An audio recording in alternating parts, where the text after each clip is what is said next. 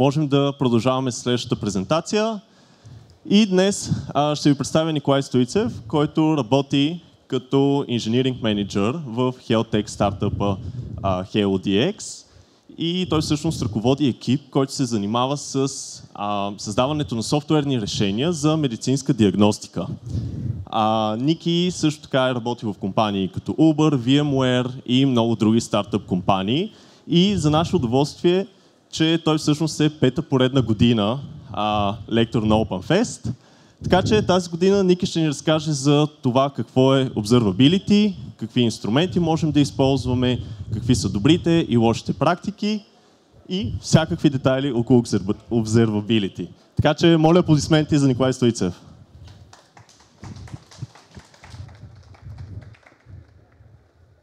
Okay. Hello, everyone.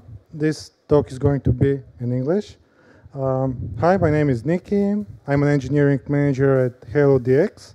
And today I'm going to talk about observability. And first I'm going to start with a question. How many of you remember what this was? We used to use them, right, to get on airplanes. And I'm going to use it as an analogy to demonstrate what why it's so important to have observability and uh, yeah, basically what is the purpose of it. So imagine that you're getting on an airplane and you don't know how fast it's going, you don't know where it's going, you don't know if there is some problem with it, and basically it's just flying and you have no idea uh, what's happening. Would you like to be on that airplane? No, right? Uh, you won't you won't have something like this. Basically, you won't have all the instruments. You want to know that everything is working fine with the airplane. You, you want to know that you're heading in the right direction. You want to know that you're flying at the correct altitude with the correct speed. And uh, basically you want to have all these instruments that, instruments that give you visibility about the state of the thing that you're running and to know when there is a problem and to be able to troubleshoot the problem when you have a problem. And this is what observability gives you. Basically, this instrumentation that gives you overview of the state of your system, whether it's running uh, as expected or there is some issue. And when there is an issue, it helps you debug the issue and fix it efficiently and fast. And basically, there are three pillars of observability that uh, we're going to go over.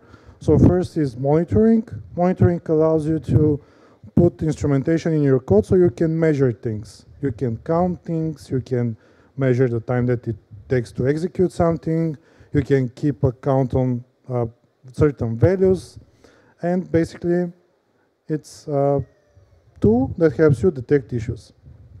Then there's logging, where uh, every application, we decorate our applications with log, with log statements. These log statements produce log messages, and the logging systems collect all the logs from all the applications that are running, no matter where, where they are, and stores them in a central place. And this, this allows us to debug issues when they happen.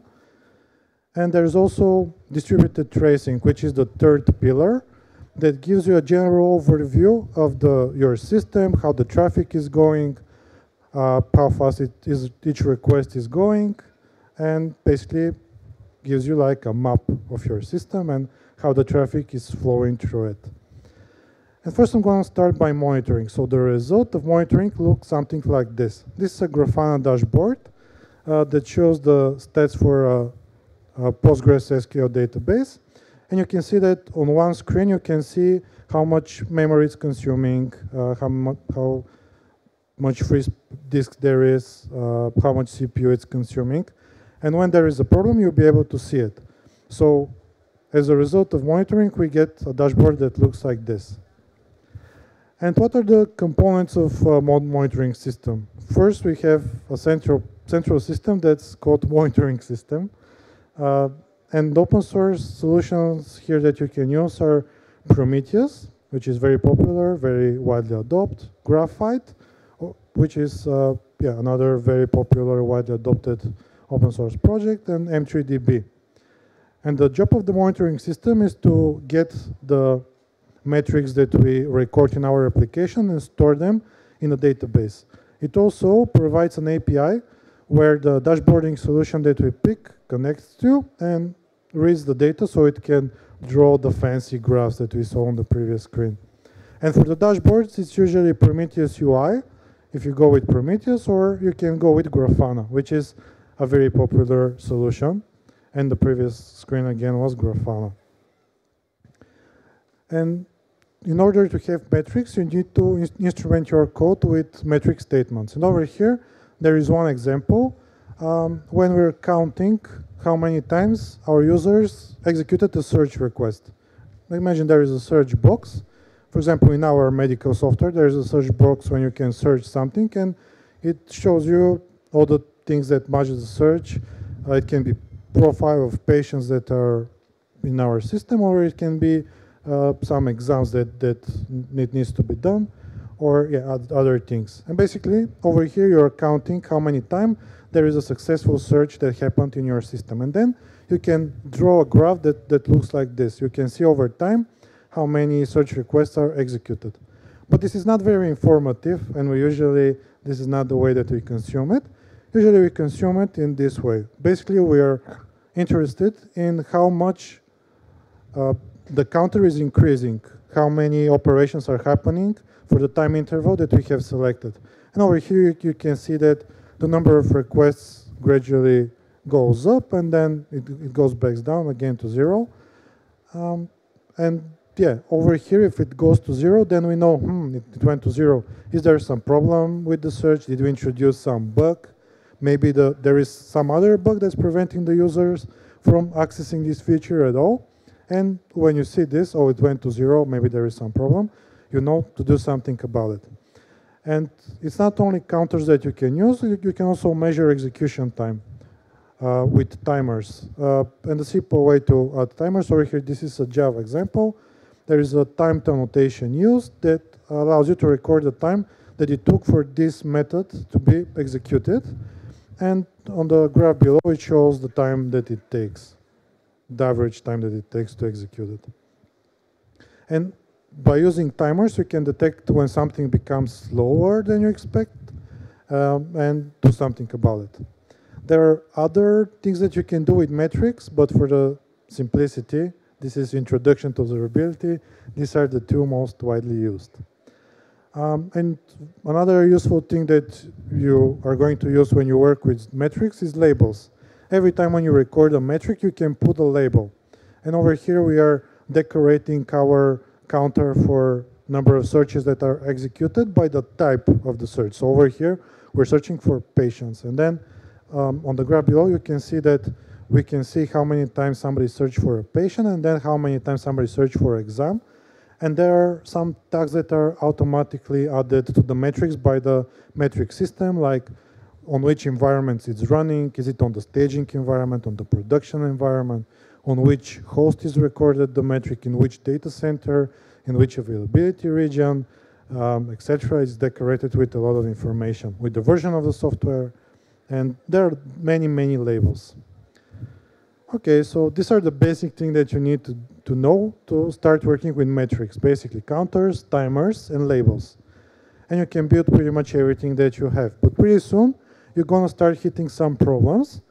So basically the next question that I want to answer for you and share my knowledge with is what to watch out for. What are some problems, some pitfalls that you may hit when working with metrics? And the first one is related to cardinality.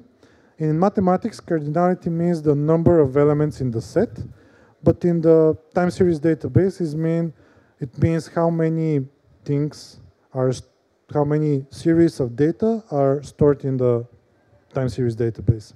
And over here you can see that we cannot multiple labels to each metric. And over here we have other type and application version.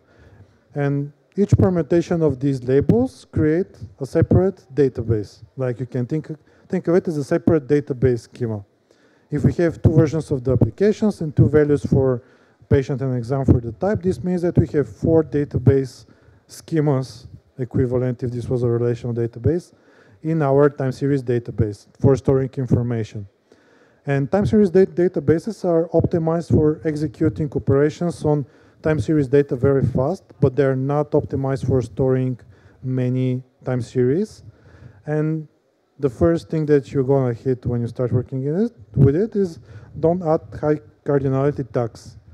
Uh, for example, don't add user ID or session ID or something like this because it's gonna create a lot of schemas, database schemas equivalent, time series database in your store, and it's gonna crumble, it's gonna crash. So this is the first first thing to watch out for. The next thing to to know is that the metrics are not accurate. Um, and this is because the time series engines are optimized for fast operations, which means that when you execute certain operation like summing or averaging or percentile calculation or histogram calculation or averaging for five minutes or dividing one series by another, you, ex you execute different operations on the time series data. And sometimes the database engine is going to skip some values, sometimes it's going to come up with some values via interpolation. And uh, yeah, basically it's optimized for fast operations. It's not optimized for correct results. And uh, when performing some operation on different time resolution, again, the, the time series database is doing some operation. If you have store, store your data, for example, in five seconds intervals, and when you query it, for example, I want the uh, sum for each minute by minute, then it's gonna do some uh, averaging, some interpolation, and again, the operation is not going to be very correct. And also, time series database are archiving metrics for long-term storage. And the reason for this is that the time series traffic uh, usually grows very fast. For every operation in your system, like there is for every one search, we are emitting a lot, a lot of counters, how many times it's successful, how many times it's failed, uh, what results did it return, was it the empty result, uh, how, how much time it took to execute the application logic, the database query. And you can see that for one operation, we're recording many, many, many metrics. This is why the metrics volume, the traffic of the, the volume of the tra metrics traffic is very big, and it's gonna fill up the database very fast. So the time series databases are archiving some metrics for long-term storage, losing accuracy. So long story short, don't rely on metrics for business intelligence. For making decisions about your companies, you cannot calculate your revenue, you cannot uh, calculate your inventory with metrics in infrastructure. It's not built for it. It's built to detect an outage in 10 seconds from it happening, uh, even if it's there. There's a lot of traffic involved in it. And the next thing, next thing to know is uh, don't you use average values. Um, because when you, for example, you want to see how much time it takes you to execute the search query, to know how much time a user needs to wait to see the search results after they type their thing that they want to search for. If you use average values, you lose the outliers. So you don't know what are the worst cases, the maximum amount of time that the user is sitting in front of the screen and waiting for the search, search results and it also don't gives you the typical behavior because of the outliers. So you don't get the outliers, you don't get the typical behavior. Basically, it's worst of both worlds. You, you don't you lose visibility of your system. Um, and something other that you can use is percentiles. And you can hear, for example, pe people talking about P90 or P95, which means a 19 percentile. Which means if you get all the values that you have recorded, you delete the highest 10% of them, and the highest value that's left is your 19 percentile, or 95 if you do it for 95%. Basically, it's what is the worst experience that people see 90% of the time.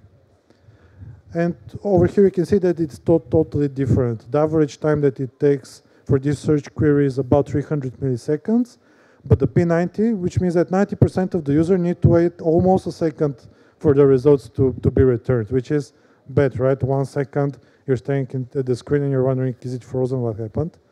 Um, yeah, so use percentiles.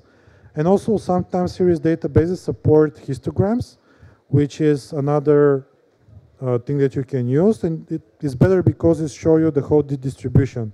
Over here you can see that most of the most of the queries uh, complete for 100 to 300 milliseconds time. But then there are some outliers and you can see basically the whole distribution, which is very useful. So third lesson, don't use averages, use percentiles or histograms when when, the, when using with metrics. And uh, basically, this is pretty much everything you need to know to go and put some metrics in your code. You can go right now, put some metrics, and then you build the Grafana dashboards, and everything is cool, right? Now you need now you need to put the metrics on big screens in the office, and then you need to put people to sit on chairs and look at the screens all day, right? To see if something's breaking, uh, which is usually not the case. You don't want people staring at screens and watching at all the values to know that something crashes. You want to set up automatic alerts. And here is one example of such an alert. Uh, this is the success rate of the our previous example, the search functionality. And we're measuring how many, what percent of percentage of the time it's returning successful results. Well, basically, is it working? when it's 100, it's working 100% of the time.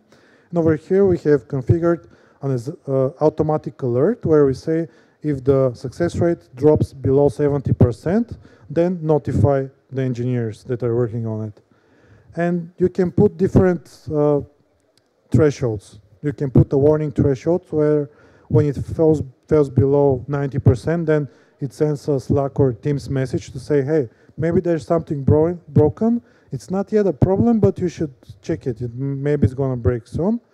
And then you can put another threshold that say, when it drops below 70%, then send the message to the on-call. Uh, and yeah, th these are alert levels. And alerting to the place where you configure automatic alerts is usually built inside your metric system. So if you, you're working with Prometheus, there is Prometheus alerting agent, Prometheus alerts manager, Prometheus alerts manager, uh, where you configure the alerts. If you're working with Graphite, there's also alerts when it, basically the alerting is built in your monitoring solution, in your metric system. And you can also do it in some dashboards. For example, in Grafana, you can configure alerts in Grafana itself.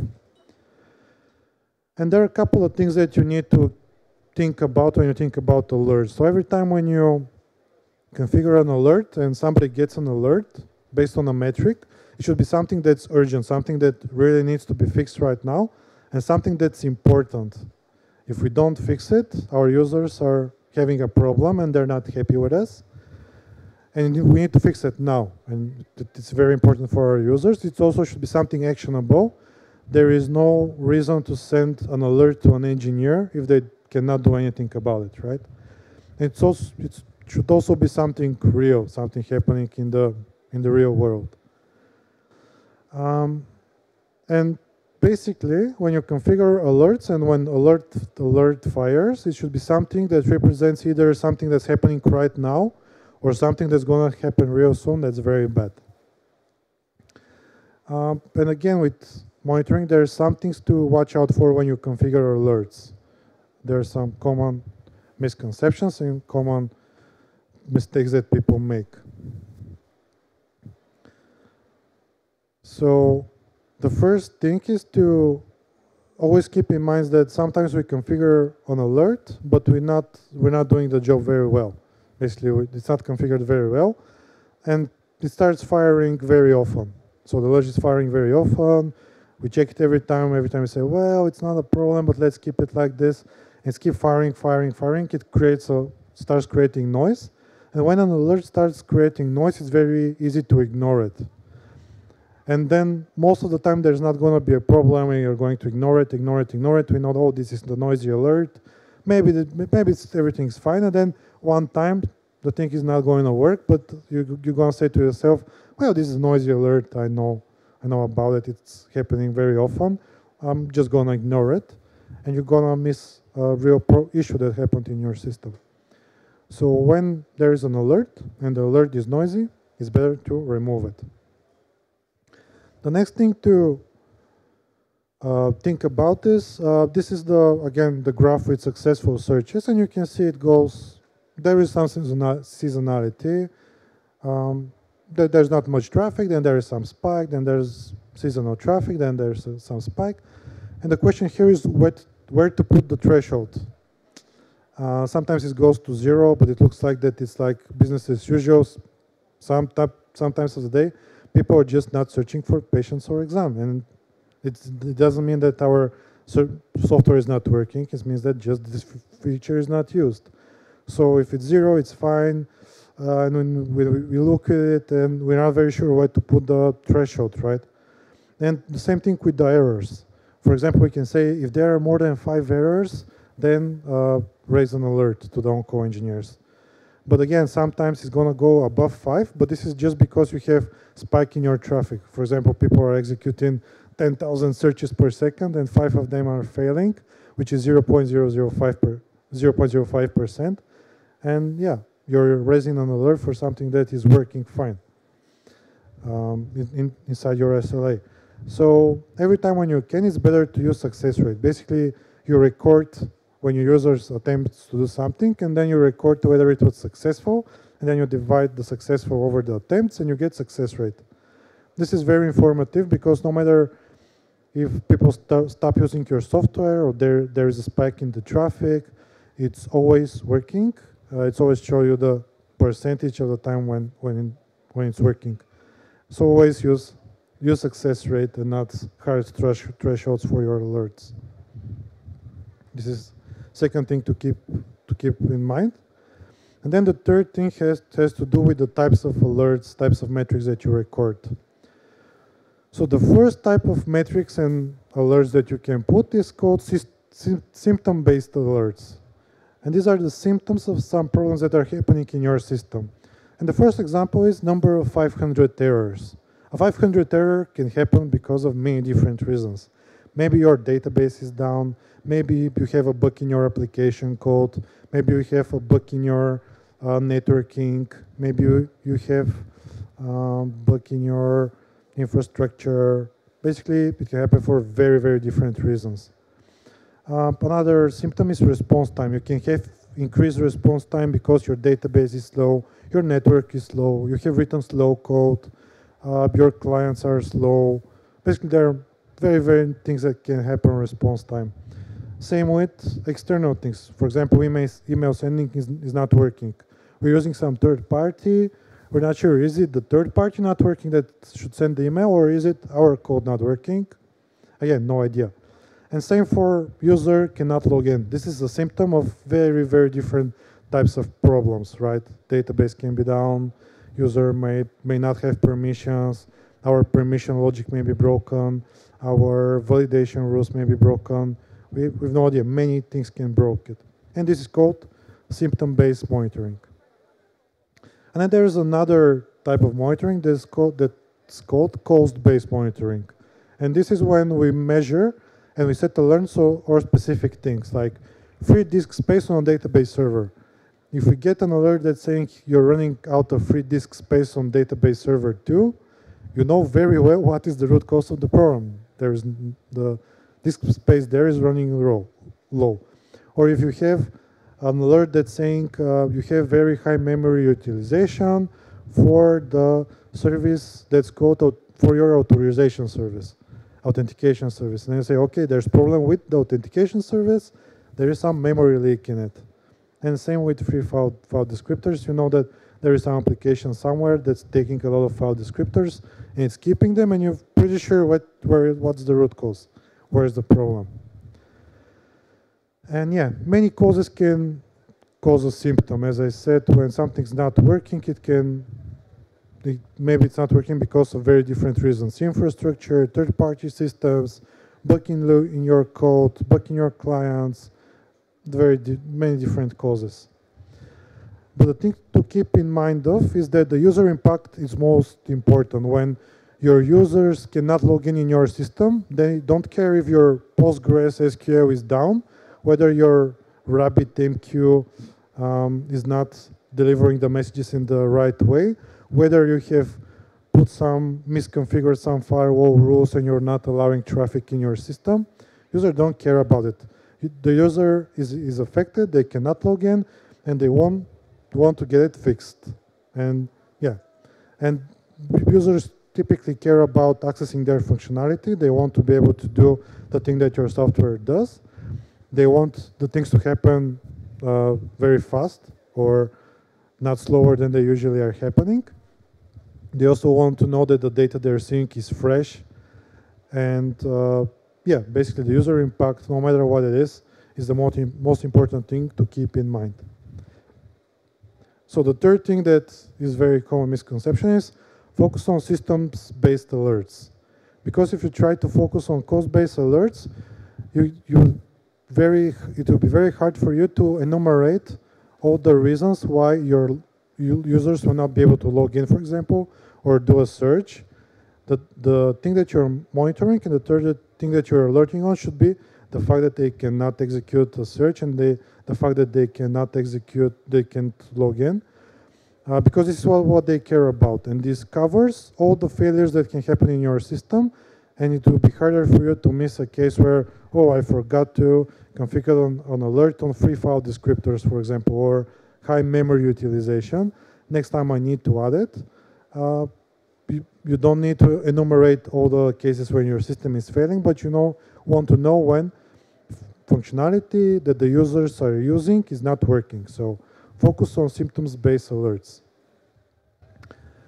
But sometimes, yeah, keep in mind that cause-based alerts are necessary. And for the example with the database where it's running out of disk space is a very good example. You want to have an alert that you're running out of disk space before it happens. And yeah, so for things like this, you need cause-based alerts uh, for yeah things that are we know that can can break. And when you configure your monitoring, you're going to start wondering yourself from where to start. And the correct strategy here is always pick alerts that are closer to your clients. So either your most outer-facing load balancer or your client applications, your front ends, your mobile applications. This is where you want to focus on. Um, and over here, there is, for example, in, on the load balancer, you can count the success rate of a certain operation, like search, for example. And when you configure su such an alert, it's going to handle all the failures that can trigger it. For example, database is down, database is overloaded, not enough database connections, network is overloaded, network is very slow, wrong firewall rules configured on your network, bug in your backend code, communication between the load balancer and the backend code is not working, your load balancer is misconfigured. A myriad of reasons can happen that, is, that are breaking your application. So start with the things that users are seeing. They're seeing your API responses and they're seeing the functionality in the application that they can access. Can they log in? Can they execute search? These are the things that business events, functionality that your users are working that you want to start with and configure alerts for these parts of your application. And now, great. We have alerts, we have monitoring, we have dashboards, we have alerts. And then one day we get an alert and we start scratching our head and thinking, okay, we have uh, some problem in our system, there is an alert, I need to fix it, I need to find, find the root cause. And usually this is happening with logging. We're using our logging infrastructure that we have to basically find the error that's happening or see where our code is breaking so we can fix the root cause of the issue. Push a code or revert a commit or restart something or yeah, whatever needs to be done to, be, to fix the problem. And usually the result is from the logging is something that, that looks like this. You have uh, this is a Kibana dashboard. It aggregates all the logs from all the applications where your software is, is running, all the containers or the places where your application is running, and it show, stores them in a central place that gives you a query interface where you can query your logs. And you can say, give me all errors from this service, or give me all exceptions that contain this string, or uh, group all exceptions so I know how many they are. Or group by field. Give me all logs from search operations that are for patients, for example. The logging solution provides you an interface that aggregates your logs on a in a central place and gives you an interface to query them in a very flexible way. And a logging system usually um, is built from local collectors that are sitting alongside the applications that you're collecting log messages from. Uh, for example, the application is writing the logs to a file on the, fi on the file system, and then the log collector are reading the file. It can also, they can also read from a socket or from any process-to-process -process communication mechanism that exists in the uh, environment where the application is running. And the log collector gets the log from the application and sends them to log aggregator. And the job of the log aggregator is to aggregate the logs from all the log collectors and store them in a database, a database that allows searching. And two popular open source solutions for this is Logstash and FluentD.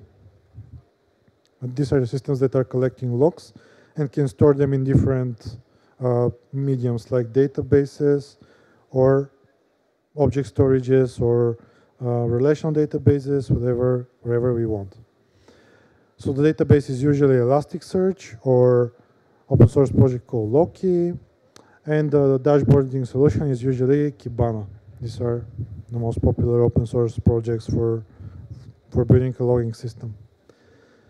And here is how logs looks like in your system. Basically, you can record strings that gives you information that something happened in your system. For example, patient was created, uh, no patient with this contact information has been found, so there, this is why there are no search results. And you can also record errors like fail, fail to generate PDF or when something happens in your system that breaks it. And you can see that there is method that's called info, method that's called warn, method that's called error. This is different log level. Then when you go in your dashboard solution, you can say, give me all log messages with severity warning or with severity error, and you can filter based on the severity, severity of the logs that you have recorded. And yeah, you, you can find logs by different criterias. You can search by content of the message. For example, if you think that there's some problem with your notification sending me mechanism, you want to see if there are any exceptions recorded with the word notification in them, then you just query message to dots notification, and then it's going to show you all the log messages that contain this word. Or you can see, say, give me all the log messages from the Kubernetes application that's called app-gateway, which is application gateway. And you can combine them. You can search by, by severity. You can say when something includes this, but it doesn't include that, or something is in the this list. Basically, it gives you a very flexible way to query your logs and find the log messages that you're interested in so you can debug the issue. And again, with the previous, with alerting and with monitoring, there are some things to watch out for, some things that you need to know in order to set up your logging in an efficient way. And the first thing is to use appropriate log level. Every time when you record a log message, you need to think, is it something that's just informational, something that's warning but not actually a problem, or is it something that's problem that should be of error level? This will allow you later on to filter your logs by their meaning, by their semantics, and you find the appropriate logs more easily. And another thing that you need to know about is called structured logging. Basically, you can add key value pairs to your logs, and then later on you can search by those keys. For example, if there's a log message that say that says fail to generate PDF, you want to know which PDF of your thousands PDF in your system exactly cannot be generated. And you can filter by template name, which is like, um, yeah. And you know that for this template, so there's something wrong with this template and this is why it's not working. Or you can also say search returned no results.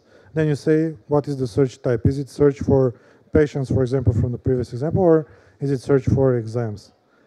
And again, you can see that, oh, there are only search, search returned no results for patients. This means that there is some bug with my code that is searching for patients. So second thing to think, uh, always think about is always use structured logging. This is a very good practice, and otherwise it's going to be very hard for you to extract useful information from the log.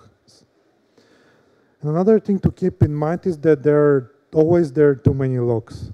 So for every operation that you're executing, if you want your code to be easily to debug, easy to maintain, easy to find issues and troubleshoot root causes, you need to have, have a lot of log statements.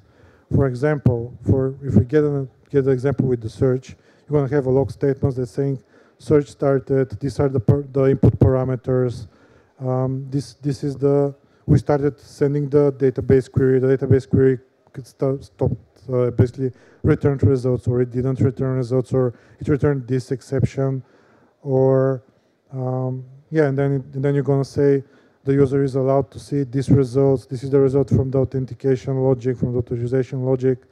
Then, then some other filtering, then some business processing. Basically, going to have 20, 20 log statements just for this one operation that is search.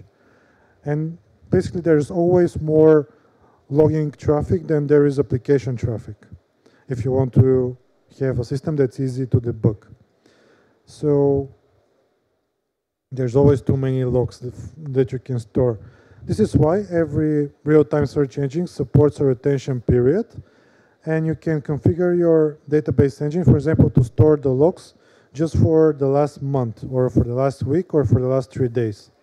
And when the logs are older than that, they older than the set retention period, they are deleted, discarded. And this is one way to solve the problem. But then from time to time, you need to fix bugs that are that happened a couple of months ago or a couple of weeks ago. So you actually don't want to lose the logs. And one way to solve this problem is to move all the logs to cold storage, which is usually something cheap to store data in like HDFS or S3 or any database that you can think of. And uh, over there it's cheap to store logs, but it's not flexible to query them. The queries are slower. Maybe you need to write some custom script to find what you need, but they're there. You, you didn't lose the logs. And one another way to solve the problem with too many logs is to put your logs in cold storage. So yeah, use proper retention period for the amount of times that you need need to have your logs easily accessible with faster queries, and then move everything else to cold storage. And so now we have alerting, we have monitoring, we have logging to debug the issues, but sometimes we need to have this general overview of how the information is flowing in the system. And this is what distributed tracing allows you to do. Distributed tracing draws you a map that shows the path that each request that came in your system went through. So first it goes went to this service, then it went to this service, then it queried these two databases, then it pushed a message to this message queue. Then this message was consumed by this consumer, and it wrote the results in this database. It basically draws this interaction diagram between the services for every request that gives you like a general overview of what the, the system is doing and what information is flowing through which services in what sequence. And I'm not going to deep dig into it because I did a separate talk for it in OpenFest a couple of years ago. You can watch it. But basically, this is what you get. Uh, the results, the, the request that went, and you can see how much time was spent in each system, in each database that was touched. And basically, yeah, it's very nice talk. Go and watch it if you want to learn more about distributed tracing.